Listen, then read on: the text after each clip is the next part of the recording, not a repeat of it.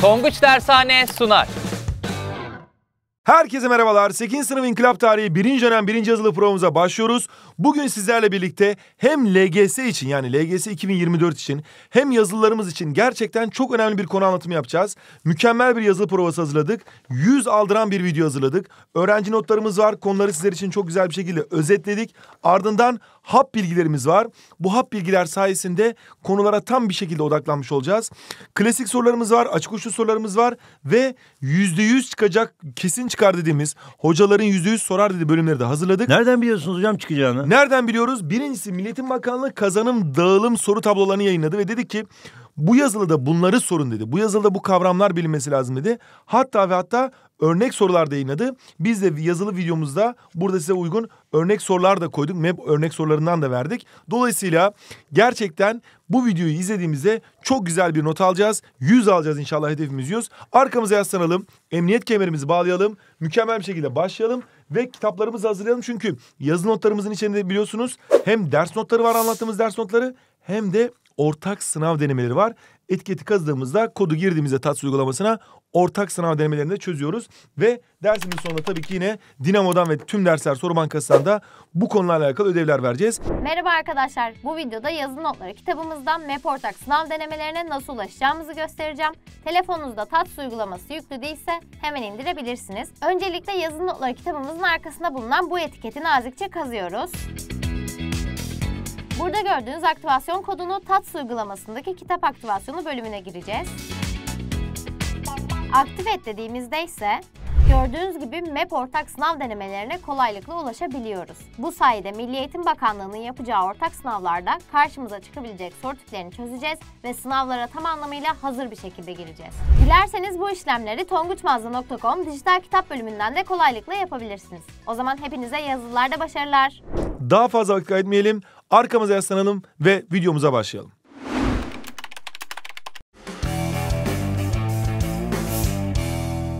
Evet arkadaşlar bugünkü yazılımımızın konusu iki üniteden bir kahraman doğuyor ve milli uyanış bağımsızlık yolunda atılan adımlar. Burada Mustafa Kemal Atatürk'ün çocukluğunu göreceğiz ve onun liderliğe giden yolculuğunu tanıyacağız. Burada ise Birinci Dünya Savaşı ve savaş sonrasında milli cemiyetlerimiz ve Kuvayi Milliye kavramlarını göreceğiz. Öncelikle uyanan Avrupa ve sarsan Osmanlı'ya bakalım. Öncelikle bazı olaylar var dünyada yaşanan. Bunlar Osmanlı Devleti'ni bazen olumsuz bazen olumlu etkiliyor. Coğrafi keşifler Osmanlı'yı olumsuz etkiliyor. Niye? Çünkü Avrupa zenginleşiyor ve ticaret yolları değişiyor. Rönesans ve sanatsal gelişmeler Osmanlı'ya yarım artı yani ne olumlu ne olumsuz bir etkisi yok. Reform olumlu etkiliyor. Neden? Çünkü Osmanlı Devleti reform sırasında birbirleriyle Hristiyanlar mücadele ederken Osmanlı rahat bir şekilde Avrupa'nın işlerinde ilerliyor. Aydınlanma çağı Osmanlı için olumsuz oluyor. Niye? Çünkü Avrupa bilime önem verecek, çok önemli gelişmeler sağlayacak. Biz ise bilimde geride kalacağız. Sanayi inkılabı Osmanlı için olumsuz oluyor. Neden? Avrupa artık bu gömleği makinelerde ucuz bir şekilde 5-10 liraya mal edip rahatlıkla üretirken biz hala terzide elimizle diktiğimiz için maalesef Avrupa'nın gerisinde kalıyoruz. Fransız ihtilali olumsuz ve olumlu etkiliyor. Olumsuz etkilemesi şu, Osmanlı Devleti'nin içerisinde sadece Türkler yok. Osmanlı Devleti'nin içerisinde şöyle kalemleri alarak göstermek istiyorum. İşte Türkler var, Rumlar var, Araplar var, işte ne bileyim Bulgarlar var, Sırplar var, Macarlar var, farklı farklı milletler var.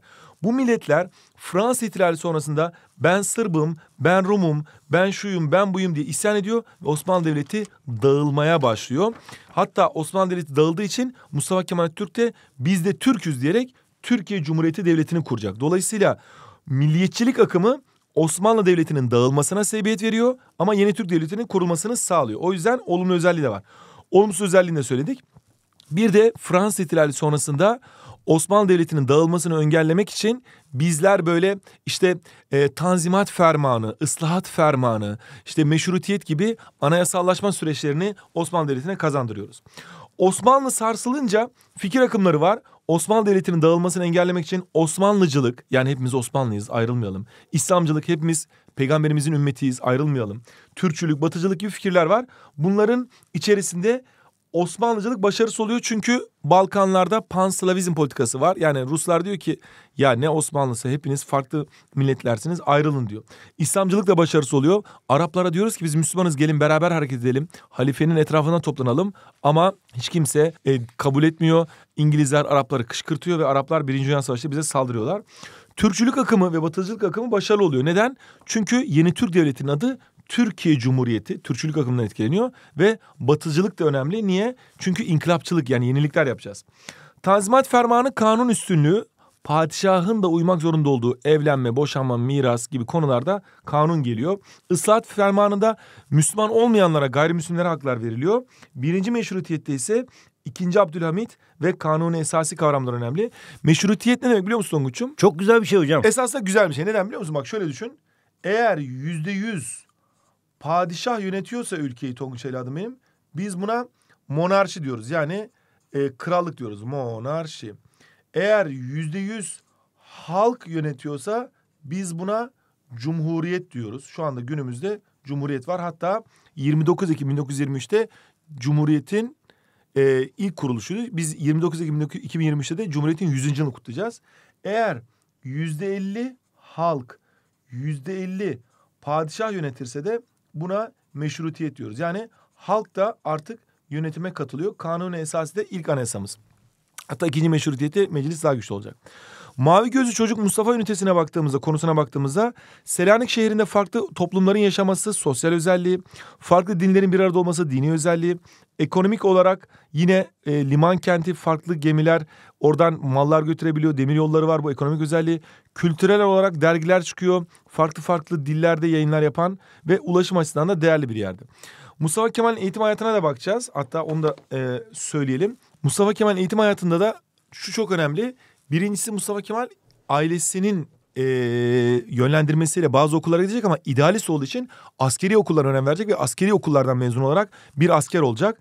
Osmanlı'da Mustafa Kemal Türk zamanında eğitim birliği yok. Yani medreseler var, askeri okullar var, yabancı okulları var, azınlık okulları, modern okullar var. Farklı farklı okullar olduğu için eğitimde birlik yok. Buhranlar büyük kahramanlar doğurur. Buhran ne demek Tonguç'um? Burhan benim arkadaşım hocam. Burhan demiyorum Tonguç'um. Buhran diyorum. Buhran sıkıntı demek. Sıkıntılar büyük kahramanlar doğurur. Yani Mustafa Kemal Atatürk'ün doğduğu zamanlarda, yaşadığı zamanlarda Fransız ihtilali var. Dünyada milliyetçilik isyanları çıkmış. Sanayi inkılabı var. Küçük devletlerin ekonomisi bitmek üzere. Osmanlı durumu zor durumda. Sıkıntılar var ama Mustafa Kemal Atatürk'ü bir kahraman doğacak. Burada Mustafa Kemal Türkiye etkileyen Ziya Gökalp milliyetçilik konusunda, Namık Kemal vatanseverlik konusunda, Mehmet Emin Yurdakul milliyetçilik konusunda, Tevfik Fikret batıcılık konusunda, Jean-Jacques Rousseau modern cumhuriyet, milli egemenlik konusunda, Monte, Voltaire yine batıcılık konusunda etkileyen yerli ve yabancı düşünürler. Şimdi Mustafa Kemal Türk'ün askerlik hayatına baktığımızda ilk görev yeri hani askeri okullarda okuduktan sonra işte e, Manastır Askeri İdaresi'nde lisede okuyor. Sonra İstanbul Harp Okulu, Harp Akademisi ve artık ilk görev yeri Şam'a atanıyor. Burada Vatan ve Hürriyet Cemiyeti'ni kurması onun liderlik özelliği ve teşkilatçılık özelliğini gösteriyor. 31 Mart olayında hareket ordusuna hareket edecek ve orada yine liderlik özelliğini kullanarak 30 Mart isyanını bastıracak meşrutiyet olayına karşı. Picardiye manevralarında Fransa'daki tatbikatı inceleyecek ve ileri görüşlülüğüyle uçakların emrine değinecek. Trablusgarp Savaşı'nda ilk askeri başarısını yapacak bir vatansever bir subay olarak gizlice orada gazeteci kılığında Trablusgarp'a gidip Osmanlı Devleti'nin kurtarılmasını sağlamaya çalışacak. Trablusgarp nerede hocam? Güzel bir soru sordun. Trablusgarp günümüzde şu anda Afrika'da, Kuzey Afrika'da hatta şöyle çizeyim bak sana. Şöyle Norveç çizeyim. Şöyle İtalya, Şöyle Yunanistan, şöyle Türkiye'yi çizelim. Şöyle ha. Şöyle ha. Şöyle ha. Nerede? Şurası. Şurası Kıbrıs'ımız yavru vatan. Şimdi şurada e, nerede? Ha. İtalya. İtalya'nın tam karşısında burada günümüzde Trablusgarp var. Trablusgarp, Bingazi, Derne burada Libya'da çok değerli yerler. Buraya İtalya saldırıyor. Mustafa Kemal Türk de gazeteci kılığında buradan hop diye geçip oraya yardıma gidecek Tonguç evladım benim. Balkan savaşlarında gelip Bolu ve Bolayır'da ileri görüşlülüğünü gösterecek. Yine askerin nereden çıkaracağını bilecek. Sofya Ateşi Militerliğinde de diplomat ve gözlemci olarak oradaki Türklere yardımcı olacak, meclisi inceleyecek. Birinci Dünya Savaşı'na geçmeden önce istersen bu bir kahraman doğuyor ünitesiyle alakalı yani e, şu anda gördüğümüz konuyla alakalı e, bir birkaç soru var. Onlara bakalım, pekiştirelim. Sonra yine e, milli uyanış konusuyla devam edelim. Bak şimdi. Demiş ki bu demokratikleşme adımlarının üç tanesini yazınız demiş. Bu arada birazdan çözeceğimiz sorular direkt yazılılarında da gelebileceği için dikkatli olmalısın. Ve sorularla alakalı cevapları yazı notlarından da tekrar etmelisin Tonguç evladım benim. Bak şimdi. Demiş ki 19. yüzyıla geldiğimizde Osmanlı Devleti dağılma sürecine girmiştir. Osmanlı Devleti'ni dağılmaktan kurtarmak için bazı aydınlar ve devlet adamları tarafından demokratikleşme adımları ve fikir akımları ortaya atılmıştır. Bu demokratikleşme adımlarının üç tanesini yazınız diyor. Şimdi Osmanlı Devleti dağılmasın diye farklı fikir akımları ortaya çıkmıştı ya Osmanlıcılık, İslamcılık gibi. Ve aynı zamanda aydınlar Osmanlı dağılmasın diye bazı demokratikleşme adımları atıyor. Bunlardan birincisi padişahın bile uymak zorunda olduğu kanunlar dediğimiz Tanzimat Fermanı'nı ilan ediyor. Aynı zamanda ıslahat fermanı var. Yani padişah e, gayrimüslimlere bazı haklar tanıyor. Birinci meşrutiyet var. Meşrutiyet neydi Tonguç evladım benim? Yüzde elli halk, elli Harikasın, padişah. Tebrik ediyorum seni. Birinci meşrutiyet var. Bir de ikinci meşrutiyet var. Bunlar her biri Osmanlı'daki demokratikleşme akımları. Geldik buraya. Demokratikleşme hareketleri diyelim daha doğrusu. Buna göre Atatürk'ün yetiştiği dönemdeki Osmanlı eğitim sistemi hakkında ne söylenebilir demiş. Bakalım.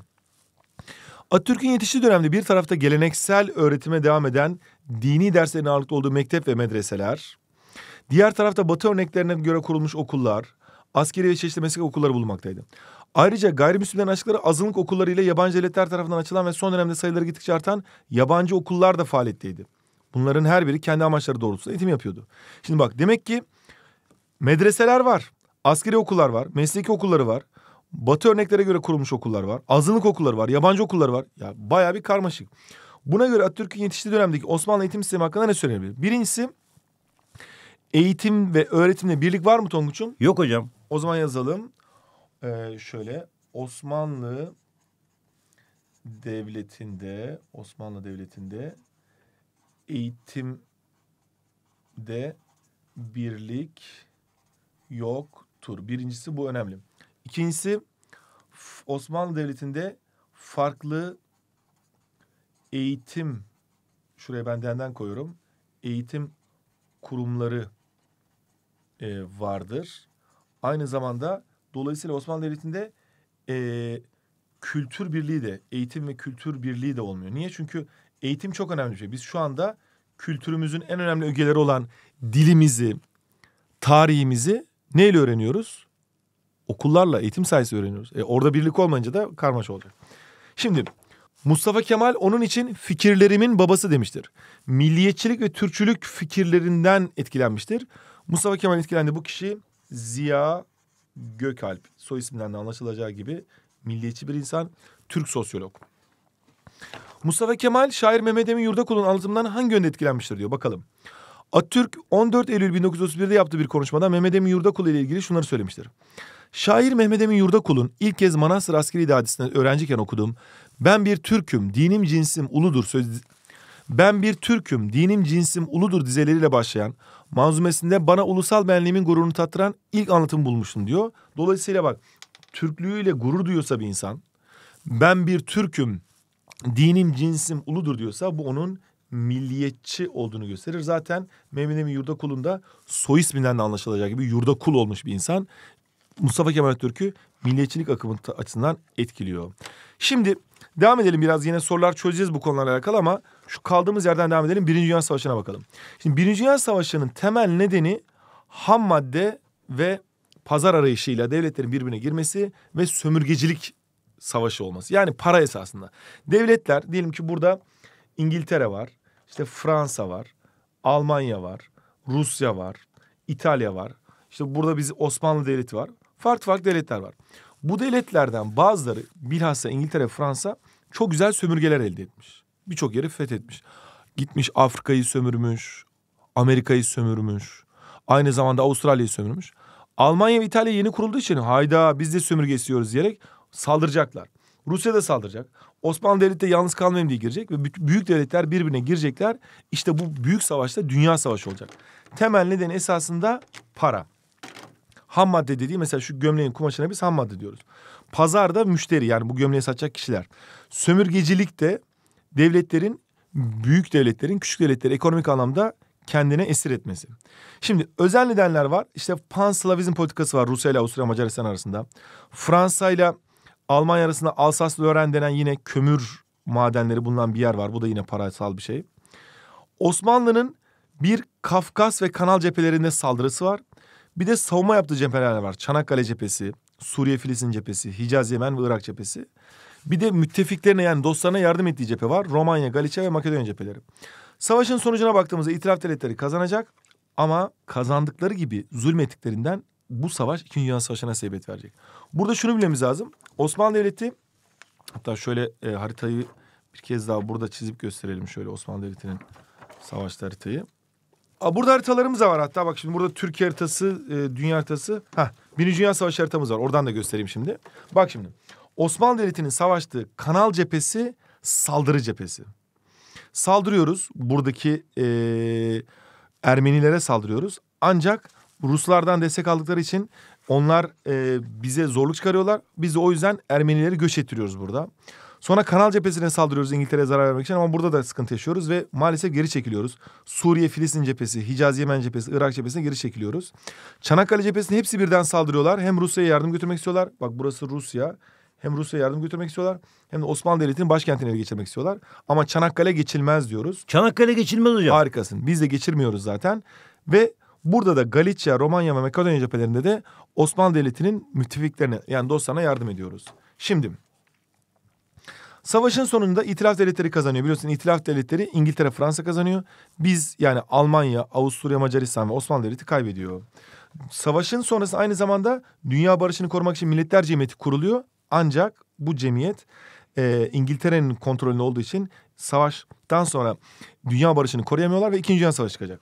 Şimdi işgaller başlayacak. İstersen işgallere geçelim.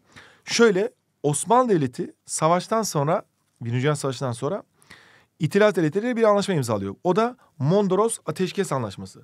Bu anlaşmayla Osmanlı Devleti 7-24 işgalleri açık hale geliyor. Yani 7. madde İtilaf devletleri güvenliklerini tehdit eden bir durum olursa o bölgeyi işgal edeceklerdir diye bir madde çıkarıyor. 24. maddede bu Doğu Anadolu için. Burada Mondros Ateşkes Anlaşması'na İstanbul hükümeti teslimiyetçi davranıyor. Ya kabul edelim diyor. Uzlaşmacı davranalım diyor. Ve uzlaşmayanlara da nasihat heyetleri gönderiyor. Biz ise Türk milleti olarak direnişçiyiz. Kuvayi Milliye'yi kuruyoruz. Bu anlaşmayı kabul etmiyoruz. Mustafa Kemal de Atatürk de geldikleri gibi giderler diyerek onları gönderecek. Bu arada bir de Paris Barış Konferansı var. Tırnak içinde barış diyorum çünkü esasında barış falan değil. Resmen paylaşıyorlar Osmanlı'yı. Amaç Osmanlı topraklarını paylaşmak. İzmir'in işgalinden sonra da Hasan Tahsin, gazeteci Hasan Tahsin ilk kurşun atacak.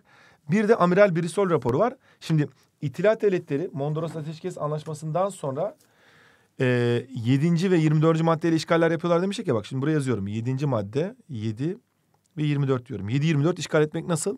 Diyorlar ki ya diyorlar işte İzmir'de burası İzmir ve çevresi. Burada Türkler Rumlara zulmediyor diye burayı işgal ediyorlar. Doğu Anadolu'da Türkler Ermenilere zulmediyor diyerek burayı işgal ediyorlar. İşte Türkler Rumlar eziyet ediyorlar diyerek burayı işgal ediyorlar. İşte Türkler Ermenilere e, eziyet ediyor diyerek burayı işgal ediyorlar. Yani karışıklık çıkarıyorlar. Biz ise bu işgallere karşı iki şekilde tepki veriyoruz. Birincisi yararlı cemiyetlerimizle. İşte Doğu Anadolu Müdafaa Hukuk, Klikyalılar, Trabzon Müdafaa Hukuk, İzmir Müdafaa Hukuk, Trakya Paşeli Müdafaa Hukuk yararlı cemiyetlerimiz buradaki haksızlıklara karşı dur diyoruz. Onlar ne yapıyorlar itilaf devletleri? Buralara zararlı cemiyetler gönderiyorlar. İşte Taşnak ve Hınçak, Pontus Rum, işte ne bileyim Mavri Mira, Etniki Eterya gibi cemiyetlerle buralarda karışıklık çıkarmaya çalışıyorlar. Niye karışıklık çıkarsa 7. ve 24. maddeyi uygulayacaklar. İtilaf devletleri eğer bir yerde karışıklık olursa orayı işgal edebiliriz diyorlar. İşte bütün olay da bu. Amiral Bristol de Amerikalı bir general. O gelip diyecek ki ya kardeşim Türkler karışıklık çıkarmıyor. Rumlar esasında burada karışıklık, uyuzluk çıkarıyor diyecek. Şimdi o zaman tekrar ediyorum. Birinci Dünya Savaşı var. Şurayı iyi anlamamız için burayı özetleyip sonrasında hemen sorulara geçiyorum Tonguç'um. Birinci Dünya Savaşı. var. Birinci Dünya Savaşı'nda Birinci Dünya Savaşı'nda savaş bittikten sonra biz yani Osmanlı Devleti hangi anlaşmayı imzalıyor? Mondros Ateşkes Anlaşması. Harikasın hemen yazıyorum. Mondros Ateşkesi. Mondros Ateşkesi. Mondros Ateşkesi bizim için kötü bir şey. Buraya şöyle bir üzüntü işareti koyuyorum. Neden? Çünkü Mondros Ateşkesi ile bizi 7-24 işgaller açık hale getiriyorlar. Yani 7. madde ve 24. maddeye dayanarak işgal ediyorlar da biz ona 7-24 işgaller diyoruz. Bu işgallere karşı, bu işgallere karşı Türk halkı tepki veriyor tamam? Türk halkı bizler Türk halkı tepki gösteriyor. Şimdi tepki gösteriyor. 7-24 işgaller var. Bu işgallere karşı gösterdiğimiz tepki ikiye ayrılıyor Tonguç'um. Birincisi askeri tepki yani e, düzensiz bir şekilde düzensiz bir şekilde bölgesel askeri e, mücadelemiz var. Askeri mücadele veriyoruz. Bu mücadeleye biz Kuvayi Milliye diyoruz. Kuvayi Milliye ne demek Tonguç Eladi benim? Milli kuvvetler. Harikasın. Milli güçler, milli kuvvetler, Kuvayi Milliye. Bir de yine bu tarafta Türk halkının gösterdiği tepki ise miting ya da kongre ya da e, protesto yaptığı e, yararlı cemiyetler var. Bunlar savaşmıyorlar ama bunlar da sonradan savaşa katılacaklar. Yararlı cemiyetlerde demek ki bunun için mücadele ediyor. Yararlı cemiyetler ve Kuvayi Milliye bu şekilde Türk halkının gösterdiği tepki. Mustafa Kemal Türk Kuvayi Milliye'yi sonradan düzenli orduya dönüştürecek. Yararlı cemiyetleri de yaptığı mücadeleler sonrasında Milli Meclis yani TBMM'ye dönüştürecek. İşte Mustafa Kemal Türk dağınık olan, bölgesel olan yararlı cemiyetleri birleştiriyor. Dağınık olan, bölgesel olan Türk askerini birleştiriyor ve düşmanın e, yenilmesini sağlıyor. Şimdi Kuvayi Milliye Milli Güçler dedik. Yararlı cemiyetler işte Trakya Paşeli var Trakya'da. Reddi İlhak var İzmir ve çevresinde. Doğu Anadolu Doğu Anadolu'da. Müdafaa Hukuk var İzmir'de. Klikyalar Adana ve çevresinde Mezopotamya'da. Bir de zararlı cemiyetler var bak. Yararlı cemiyetler iyi bunlar güzel. Ama zararlı cemiyetler bir milli varlığa düşman cemiyetler var. Bizim kendi içimizden çıkıp yani Türk olup ama zararlı faaliyetlerde bulunuyorlar. Mesela Wilson prensipleri diyorlar ki ya biz Kurtuluş Savaşı yaparsak kazanamayız. O yüzden Amerika'nın kontrolüne girelim. Amerikan mandasına girelim diyorlar yani. Veyahut da İngiliz muhipleri biz kurtulamayız. İngilizlerin kontrolüne girelim. İngilizlerin yönetimine girelim. İngiliz mandasına girelim diyorlar. Tabii biz bunu kabul etmeyeceğiz. Azınlıkların kurduğu Mavremira Rum, Etnike Eterya Rum, Pontus Rum Rum, Taşnak ve Ermeni cemiyetleri de var. Bunlar da yine azınlık cemiyetleri. Şimdi gel istersen sorularla pekiştirelim Tonguç Hanım'ı. Şunu şöyle koyalım. Neredeyiz? Şurada kalmışken en son. Ha. Birinci Dünya Savaşı'nın başlamasına etkili olan ekonomik ve siyasi faktörlere birer örnek veriniz diyor. Ekonomik faktörlerin tabii ki birincisi neydi? Paraydı. Yani para kelimesini yazmıyorduk da biz ne diyorduk? Ham madde, ham madde ve pazar arayışı devletlerin birbirlerine girmesine sağlıyor. İkincisi de siyasi olarak da milliyetçilik akımı diyebiliriz. Yani devletler milliyetçi hareket ediyorlar. Ben Avusturyalıyım, ben işte ne bileyim Rusum, ben Fransızım diye birbirlerine girecekler. Birinci Dünya Savaşı'nda Osmanlı Devleti taarruz, savunma ve yardım cephelerine savaşmıştır. Osmanlı Devleti'nin Birinci Dünya Savaşı'ndaki savunma cepheleri nelerdir? Bu haritayı göstermiştik zaten. Bir kez daha bu haritada da gösterelim. Şimdi saldırı cephelerini yazalım. Burada sadece savunmayı sormuş ama biz saldırı cephelerini yazalım. Bunlar K, K diye kodlayabiliriz. Yani Kafkas ve Kanal cephesi diye kodlayabiliriz. Bu cephelerde biz maalesef kaybediyoruz. Saldırı cephelerimiz maalesef saldırıyoruz. Taarruz ediyoruz ama kaybediyoruz. Bize savunma cephelerini sormuş. Savunma cephelerini yazıyorum. Savunma cephelerinde ise tabii ki birincisi burada Çanakkale cephesi var. Çanakkale cephesini kazanıyoruz tabii ki. Savunuyoruz. Çanakkale geçilmez diyoruz. Aynı zamanda Irak cephesi var. Aynı zamanda Suriye, Filistin cephesi var. Aynı zamanda bir de ee, Hicaz, Yemen yani Arabistan olduğu Hicaz, Yemen cephesi var. Burada sadece Çanakkale cephesini kazanıyoruz. Diğerlerine maalesef kaybediyoruz. Bir de yardım cephesi var. Onu da şöyle yeşille yazalım. Bize şunu sordu. Bu sorunun cevabı bu. Ama ben amacım sana yardımcı olmak istediğim için Tonguç'um ders anlattığım için yardım cephesine yazıyorum. Yardım cephelerde de müttefiklerimize yardım gönderiyoruz. Müttefik ne demek hocam? Müttefik dost demek. Yani ittifak kurduğumuz kişi demek. Müttefikler biz hani Almanya, Avusturya, Macaristan işte beraber hareket ediyor ki bizim müttefiklerimiz onlar. Onlara yardım için gönderdiğimiz bir de Romanya, Galicia ve Makedonya cephesi var. O zaman yazıyorum buraya.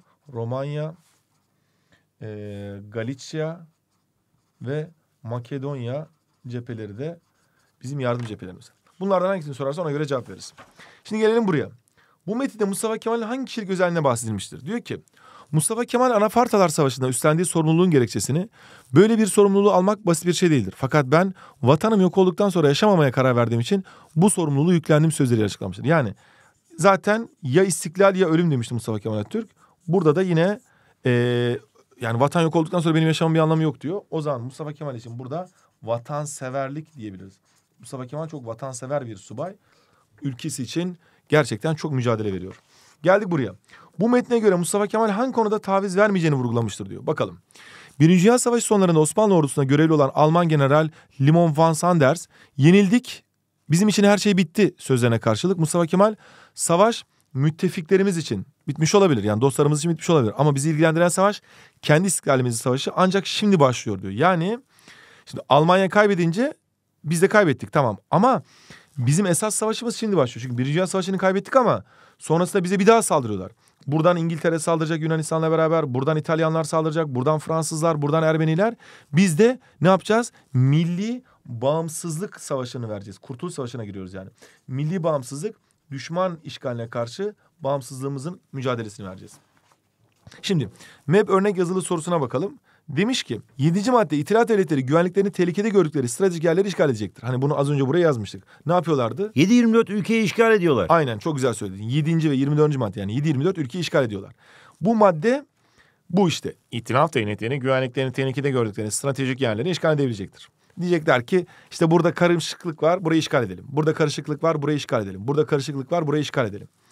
İtilaf devletleri Mondros Ateşkes Anlaşması'nın bu maddesiyle neyi amaçlamış olabilirler? Tabii ki de Ülkemizi işgal etmeyi planlamışlardır. harikasın Tonguç'um çok güzel. O zaman bunu yazalım.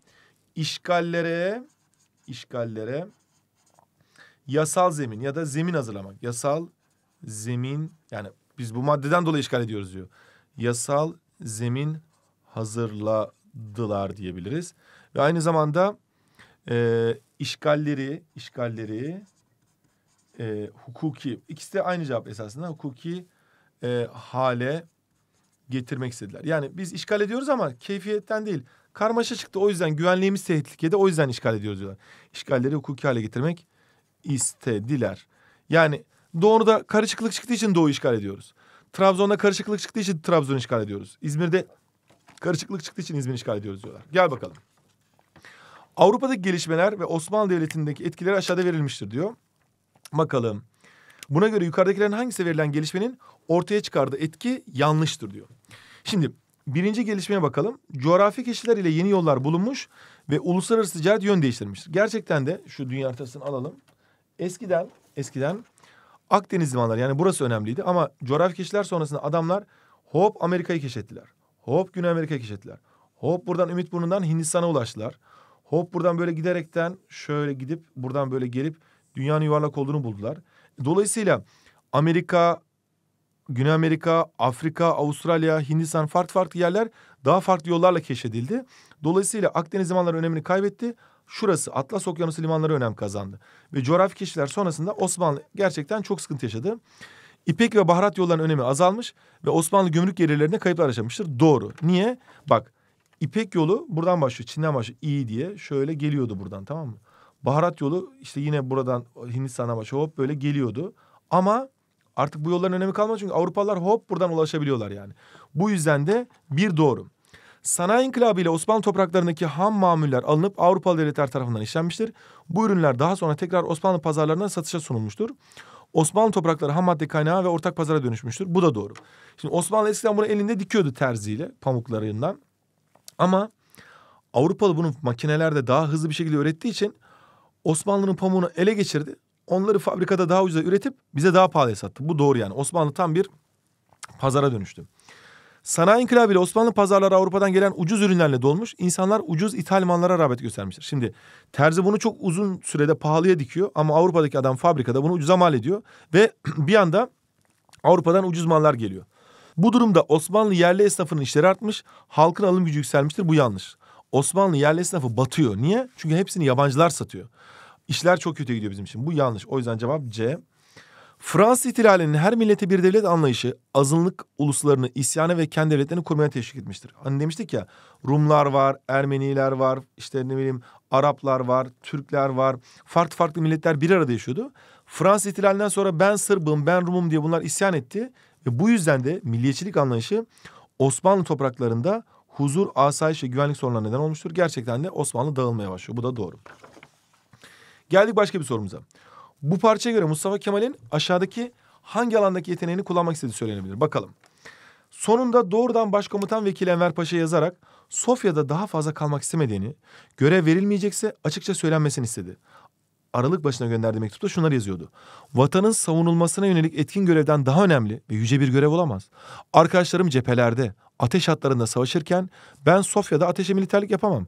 Eğer birinci sınıf subay olma yeterliliğinde değilsem lütfen söyleyiniz diyerek bir eee, şey gönderiyor nedir onu mektup gönderiyor. Bu parçaya göre Mustafa Kemal'in aşağıdaki hangi alandaki yeteneğini kullanmak istediği. Mustafa Kemal savaşmak istiyor. O zaman bu onun hangi yeteneğini kullanmak istediğini gösterir. Askerlik yeteneğini. Harikasın. Askerlik yeteneği yani doğru cevabımız askeri oluyor Tonguç'um. Geldik buraya. Birinci Dünya Savaşı başladığında Osmanlı Devleti tarafsızlığını ilan ediyor. İlk başta tarafsızım diyor yani ben itilaf ya da ittifak değilim diyor. Boğazlarını ulaşıma kapatıyor. Ülke genelinde seferberlik başlatıyor yani herkese orduyu alıyor. Kapitülasyonları kaldırdığını duyuruyor. Kapitülasyon nedir hocam? Çok önemli bir kavram kapitülasyonlar. Bizim yabancı devletlere verdiğimiz ekonomik ayrıcalıklar. Rahat rahat vergi vermeden, gümrük ödemeden ticaret yapabiliyorlar. Biz bunu kaldırıyoruz artık yeter diyoruz yani. Bu bilgilere göre Osmanlı Devleti için çabalarından hangilerinde olduğu söylenebilir diyor. Bakalım. Bir, Boğazlara ulaşma kapattığına göre başkentini korumak istediğini söyleyebiliriz. Niye? Çünkü başkent İstanbul o zaman. Bu var. Boğazlar eşittir başkent. Ekonomik baskılardan kurtulmak için kapitülasyonları kaldırıyor bak. Kapitülasyonlar eşittir ekonomi. Bunu unutma. Bu da doğru. Tarafsızlığını ilan ediyor. Siyasi müttefik arama. Şimdi siyasi dost aramıyor. Tarafsızlığını ilan ettiyse daha şu anda siyasi dost aramıyor. Sonradan Almanya'ya yanaşacak. Almanya ile birlikte savaşa girecek ama şu anda tarafsızlığını ilan etmiş. Buradaki bilgilerde tarafsızlık var. O yüzden bu yok. E, ülke genelinde seferberlik başlatıyor. Yani ülkedeki bütün erkekleri askere alıyor. Bu da onun ulusal güvenliğini sağlamak istediğini gösterir. Dolayısıyla cevap 1, 2, 4. Yani hangisi? C seçeneği hocam. Harikasın. O zaman C seçeneğini hemen işaretliyoruz. Evet Tonguç'um. Konumuzu detaylı bir şekilde anlattım. Ama sen mutlaka ve mutlaka hem LGS hazırlığın için biliyorsun LGS 2024'te de bu konulardan en az 200 soru gelecek. Hem yazılı notlarımızdan bunları güzel güzel tekrar et. Hem de etiketi kazıyarak arkadaki kodu TATS uygulamasına girip ortak sınav denemelerini çöz. Aynı zamanda tüm dersler soru bankası da bu konuyla alakalı çok güzel sorularımız var. Bu soruları da çözdüğünde hemen şöyle açıyorum bak e, sosyali. Nerede? Ha burada bak. Birincisi şuradan başlamak istiyorum. İlk başta test 1'de uyanan Avrupa Sassan Osmanlı'yı anlattık. Sonrasında Mavi Gözlü Çocuk Mustafa. Ardından adım adım liderliğe. Sonrasında Birinci Dünya Savaşı Osmanlı Devleti. Sonrasında işgal yıllarının Anadolu. Cemiyetler Kuvayi Milliye her birini senin için detaylı bir şekilde gösterdik. Burada test 7'ye kadar gelmelisin. Yine bu kitapta da ortak sınav denemelerine arkadaki etiketi kazıyarak ulaşabilirsin Tonguç Hanım benim. Hadi bakalım. Hepinize yazılarınıza başarılar arkadaşlar. İnşallah sınavda başarılı olursunuz. Hepinize görüşmek üzere. Kazamız mübarek olsun. Hadi bakalım mübarek olsun Tonguç. Tonguç Dershane sundu.